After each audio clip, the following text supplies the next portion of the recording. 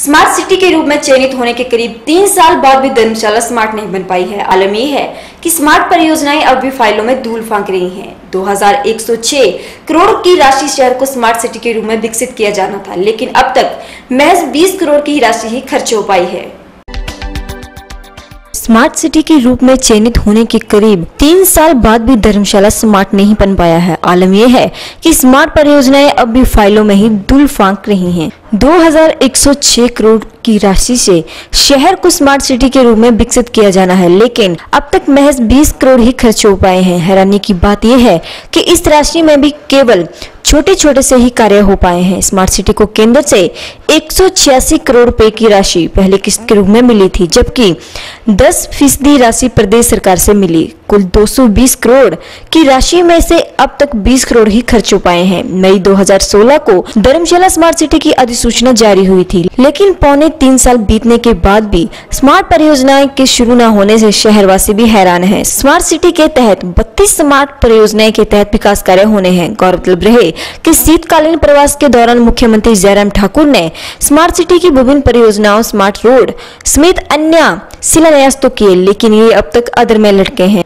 Smart city परियोजना के तहत धर्मशाला शहर को विकसित करने के लिए 10 करोड़ रुपए से तैयार होने वाले तीन परियोजनाओं का काम लटक गया है। गौरतलब रहे कि पिछले तीन महीनों से इन परियोजनाओं की टेंडर प्रक्रिया हो रही है, लेकिन कोई ठेकेदार नहीं मिल रहा है। तीनों परियोजनाओं में सबसे बड़ी परियोजना बानवे वर्षा सैलिका बनाने का है।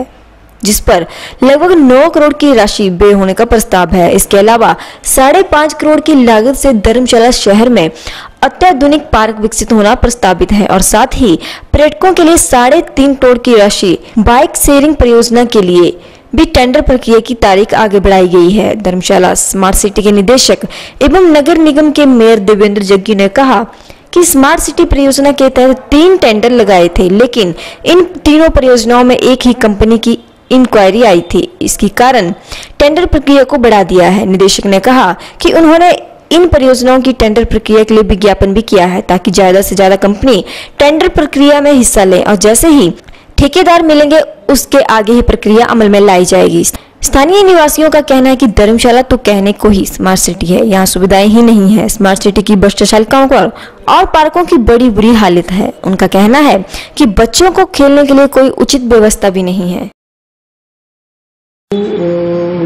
ठेकेदार नहीं मिल रही हमने तीन टेंडर हमने लगाए थे, जिसमें बैरे फ्री बस शेल्टर था और जो 92 लोकेशन में हम लगवाए थे। और उसमें बाइक शेयरिंग का एक था, जिसमें पीपी मोड पे उसको रखा था। लेकिन टेंडर का जो टाइम था विद इन टाइम उसमें सिर्फ़ एक कंपनी वाले आए जिन्होंने इंक्वायरी की। उसको देखते हुए हमने उसका टाइम बढ़ा दिया है ताकि और भी लोग इसमें आए। लेकिन अभी तक तो अभी तक कंपनी के कोई कुछ अप्लाई नहीं किसी ने किया हुआ।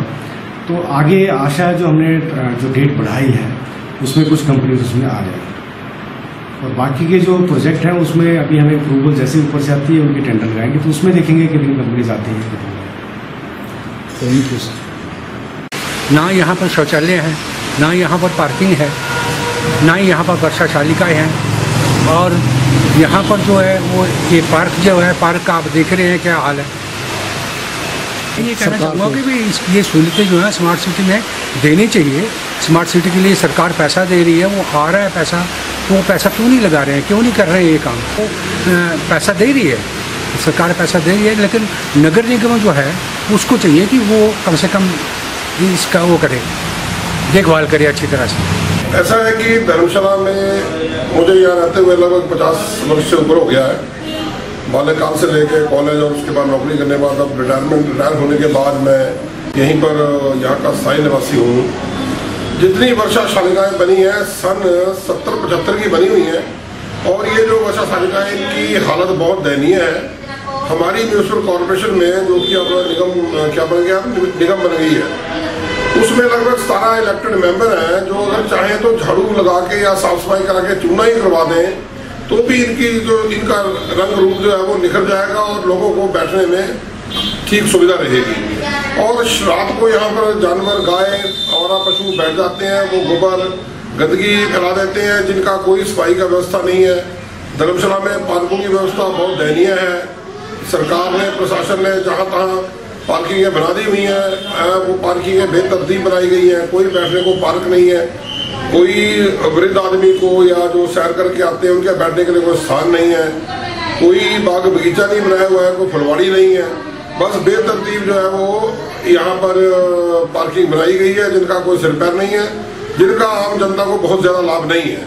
तो धर्मशाला के जो वार्ड मेंबर है, या मैं सरकार से ये मांग करता हूँ ये वार्ड मेंबर जो सोलह सतारह है इनकी कारगुजारी पर भी सरकार को नज़र रखनी चाहिए और ये देखना चाहिए कि इन, इन जो रेन शेल्टर हैं जो कि बरसात में इनकी बहुत ज़्यादा ज़रूरत होती है गर्मियों में भी अदर और, और भी जो मौसम हमारे यहाँ होते हैं तो ये चाहिए कि इनकी वर्षा शालिकाओं का पुनर्निर्माण हो और इनको बढ़िया खूबसूरत तरीके से बनाया जाए और इनको वगैरह इनकी फेंसिंग भी हो या इनको कुछ बंद किया जाए ताकि आदमी जा सके पशु ना जा सके।